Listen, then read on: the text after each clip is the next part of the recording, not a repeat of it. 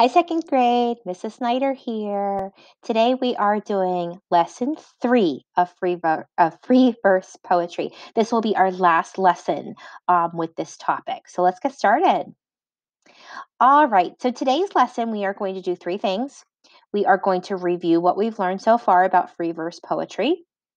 We are going to add one more trait to free verse poetry called theme and finding out how do we find the theme in poems and then we'll have a little bit of a review. So, free verse poetry, let's review. Last week, we added a trait to give us five questions we focus on when we are asking ourselves about free verse poetry to help us better understand it. The first question we ask ourselves is What is the topic? What is this poem about? We ask ourselves Are there rhyming words? Free verse poems do not have rhyming words. We ask ourselves, are there describing words? Does the poet use words that give you a clear picture of the topic in your mind? We, ask our, we also ask ourselves, does the author use figurative language? Remember, when an author uses figurative language, the author is comparing the topic to something else not related to help you get a better picture in your mind. And last week we added repetition. This is when the author repeats words or phrases throughout the poem. And the author repeats those words or phrases to draw your attention to something. Um, last week we looked about how it drew our attention back to the topic of the poem. So this week we are going to talk about theme and finding the theme in poems. Now, we've talked about theme earlier this year. Theme is the main message or lesson in a story. That's so important. I'm going to say that again. Theme is the message or lesson in a poem or a story. The author does not tell you what the theme is. The author will not tell you the message. You have to figure the message out. And this is how we do it. We do these two things. One, we look for key details in the poem or the story, and we think about how the details are related. The connection of those details can help us lead um, our minds to learning a lesson or getting a message from the poem or the story. So, what we're going to do is we're going to take a look at the poems we've read in the last two lessons. And we're going to look for key details and think about how those details relate in order to determine the theme. Okay, let me show you.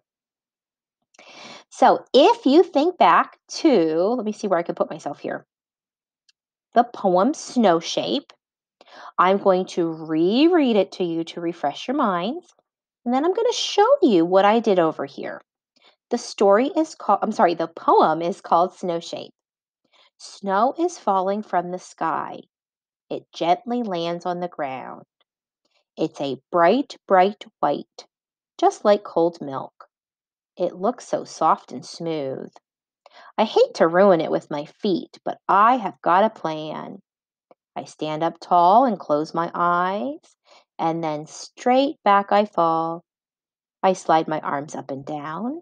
I move my legs in and out. I stand up to see what I have made a four foot shape in the snow of me.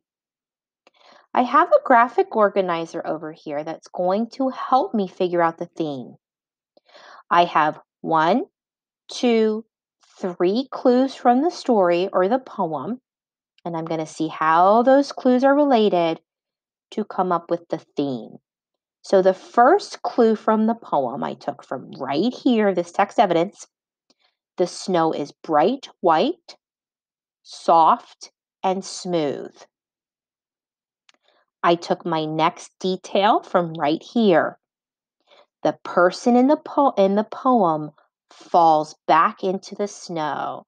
He closes his eyes, and I picture him going, falling straight back. The last clue I took right from here. The person in the poem moves his arms and legs in the snow to make a shape of himself. Now let's connect those ideas. So we're picturing that bright, soft snow. the person falling back, the person moving his arms and his legs. What message can we get from those details?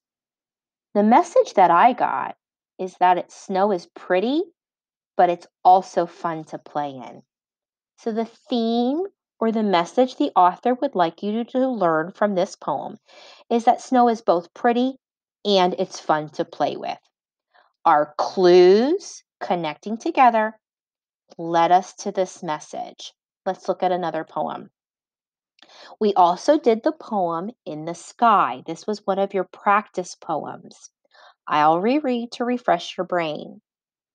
In the sky. Outdoors on a clear day, look up in the sky. What do you see there?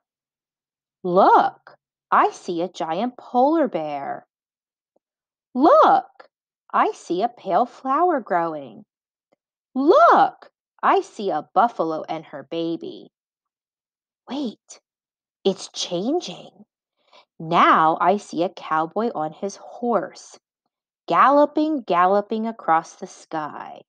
I wonder where he'll ride. I'm looking for three clues and how those clues connect to help me come up with a theme. I took my first clue from right here. You see clouds in the sky. I took my next clues from right here. The clouds keep changing shape.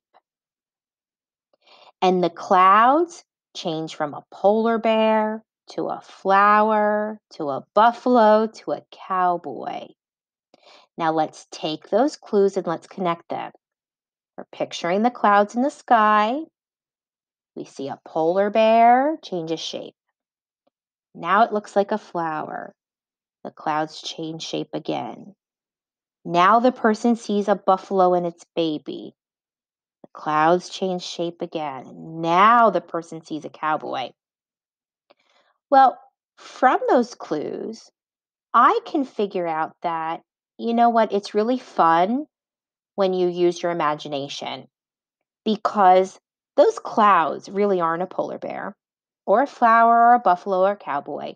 We have to use our imaginations to picture those things in the shapes of the clouds. And in order to do that, we need to use our imagination. So I can tell that the theme of this poem or the message the author wants me to learn is that you can have a lot of fun when you use your imagination. The next poem we talked about was Nature Walk. I'll reread to refresh your memories. Nature Walk. When you take a walk in the fall, leaves are like a blanket on the ground. They crunch under your feet with each step you take. When you take a walk in the fall, the air feels as cool as drops of rain on your cheek. It smells like clean cotton towels. When you take a walk in the fall, the outdoors will excite you. It's a wonderful time. I'm looking for clues that lead me to a theme or a message. So, my first clue I took from up here when you walk, you hear the leaves crunching. I took my next clue from right here. When you walk, you can feel the cool air on your cheek. My next clue from right here. When you walk, the air smells like clean cotton towels. So we're going to connect those ideas. When you walk, you hear the leaves. When you walk, you feel the air on your cheeks. When you walk, you can smell how clean the air is. Well, this is all happening during fall. These are all nice things happening. I can get the message that fall is a wonderful or a fun time of the year. You can make it a fun time of the year. That's the message or the theme the author wants us to get. And the last poem that we did, and you did this one in your independent practice, was called See a Star. It's not shiny or shimmery. I see a star. It's not burning or bright. I see a star. It is not in the dark sky, I see a star. It is black as the night. I see a star. I think it might like me. It seems to be waving. The sea star I see. Oh, the sea is so splendid. I'm taking my clues right from the poem. Right from here, the person sees a type of a star that does not shine. My next clue from right here, the star is not bright, it is black. My next star from right here, the star seems like it is waving at the person. So I need to see how these clues connect. So the person's looking around, sees a new type of star. It's listing its characteristics. It doesn't shine, it's not bright, it's black. It looks like it's moving, like it's waving. What's the theme? What message can we learn from connecting those clues? Well, we can figure out that there are cool things we can discover if we look. If this person weren't looking around, they would not have discovered cool things or something cool, a cool new star. Um, theme is when we take clues from the story or the poem and we connect those clues to figure out a message the author wants us to learn. All right, let's review.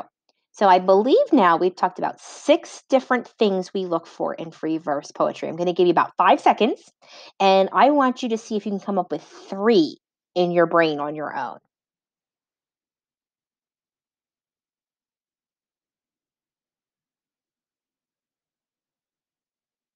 Do you have some? Okay, let's review. It has a clear topic, what the poem is about. There is no rhyme. Lots of describing words so you can picture the topic in your mind. Figurative language, where the author compares the topic to something totally different, which helps you get a good picture in your mind. Repetition, where words and phrases are repeated to draw your attention to something. And theme, when the author leads you to a message with clues in the poem. All right, it is your turn. Time to practice. So you're going to open up the Google Doc activity for this lesson in Google Classroom. If you get stuck and you need help, you can always come back to this video for some um, pointers and some information we talked about. You can send me a message in Google Classroom or you can send me an email. I look forward to seeing your work. Great work with poetry. Next week, we will do a different topic, so stay tuned. Have a wonderful week, and I will see you next week. Bye, second grade.